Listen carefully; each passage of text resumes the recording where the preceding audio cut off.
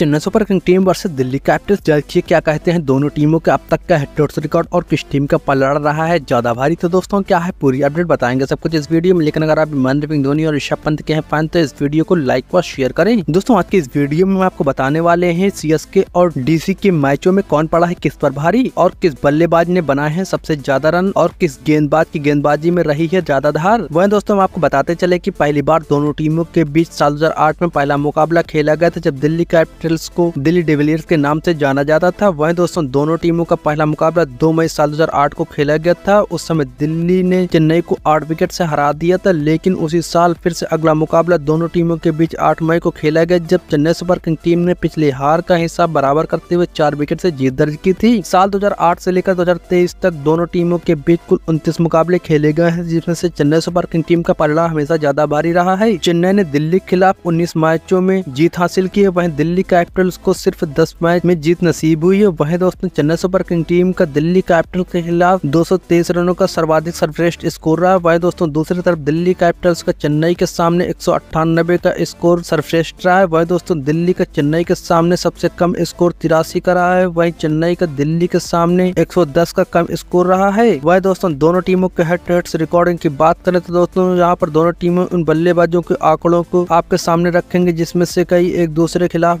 बनाए हैं, यानी कि वो बल्लेबाज जो कि दूसरी टीम पर काफ़ी ज़्यादा भारी पड़े हैं और उनमें से सबसे ज़्यादा रन बनाए हैं। तो दोस्तों, दोनों टीमों के बीच अब तक उनतीस मैच खेले गए जिसमें से सीएसके ने उन्नीस, जबकि डीसी ने दस मैच जीते हैं। वह दोस्तों, सर्वाधिक रन बनाने के मामले में महेंद्र सिंह धोनी दोनों टीमों के बीच में पहले स्थान पर आते हैं, जिन्होंने अट्ठाईस मैचों में छह सौ उनतीस रन बनाए, जिसमें से तीन अर्ध तक शामिल रहे हैं और इनका सर्वश्रेष्ठ स्कोर तिरसठ रनों का रहा है, जिसमें से चौतीस की औसत से रन बनाए। वह दोस्तों, दूसरे नंबर पर रहे हैं सुरेश रैना। इन्होंने बाईस मैचों में पाँच रन बनाए, वह दोस्तों तीसरे नंबर पर है फाडोप्लेसिस जो कि वर्तमान में आरसीबी के कप्तान है। फाडोप्लेसिस में सीएसके से रहते हुए तेरह मैचों में तीन रन बनाए, वही मुरली विजय ने दस मैचों में तीन सौ रन बनाए, वही अंबती रायडू ने बारह मैचों में दो सौ तिहत्तर रन बनाए हैं। वह दोस्तों, दिल्ली कैपिटल्स के बल्लेबाजों की बात करें तो दोस्तों, दिल्ली कैपिटल्स के बल्लेबाज चेन्नई सुपर किंग टीम के सामने शिखर धवन ने दस मैचों में चार रन बनाए, वही ऋषभ पंत ने दस मैचों में तीन सौ चौबीस रन बनाए पृथ्वी शॉ ने ग्यारह मैचों में दो सौ अठहत्तर रन बनाए, डेविड वार्नर ने ग्यारह मैचों में दो रन बनाए श्रेयस अय्यर ने ग्यारह मैचों में दो सौ छत्तीस रन बनाए हैं। वह दोस्तों, चेन्नई सुपर किंग टीम के गेंदबाजों की बात करें दिल्ली कैपिटल्स के सामने के लिए तो दोस्तों, एडन ब्राउ ने 18 मैचों में 19 विकेट लिए, जिनमें से उनका सर्वश्रेष्ठ प्रदर्शन तैंतीस रनों पर तीन विकेट रहा है। वहीं और अश्विन सीएसके में रहते हुए 12 मैचों में 17 विकेट हासिल किए, जिसमें से सर्वश्रेष्ठ स्कोर तेईस रन पर तीन विकेट रहा वहीं रविन जडेजा इक्कीस मैचों में सत्रह विकेट और नौ पर तीन विकेट, दीपक चार ग्यारह मैचों में तेरह विकेट, जिसमें से बाईस सर्वश्रेष्ठ स्कोर पर तीन विकेट लिए। वही दोस्तों, एलबी मार्केल ने बारह मैचों में ग्यारह विकेट हासिल किए हैं और बत्तीस रन पर तीन विकेट हासिल किए। वह दोस्तों, दिल्ली कैपिटल्स गेंदबाजों की बात करें चेन्नई सुपर किंग टीम के सामने तो एनरिक नार्टे ने छह मैचों में दस विकेट हासिल किए और बयालीस रन देकर तीन विकेट दिए हैं। वहीं अमित मिश्रा ने ग्यारह मैचों में नौ विकेट हासिल किए हैं, बीस रन देकर दो विकेट हासिल किए। वहीं आशीष नेहरा ने चार मैचों में सात विकेट हासिल किए, छब्बीस रन देकर तीन विकेट लिए। वही दोस्तों, अक्षर पटेल ने दस मैचों में सात विकेट लिए, अठारह रन देकर दो विकेट हासिल किए हैं। तो दोस्तों, आज की जानकारी में बस इतना ही। आपको क्या लगता है, क्या सी टीम इस बार फिर से दिल्ली कैपिटल पर हावी हो पाएगी नहीं आप अपनी व्यक्तिगत राय नीचे कमेंट सेक्शन में लिखे। मिलते हैं नेक्स्ट अपडेट के साथ। अब तक के लिए नमस्कार।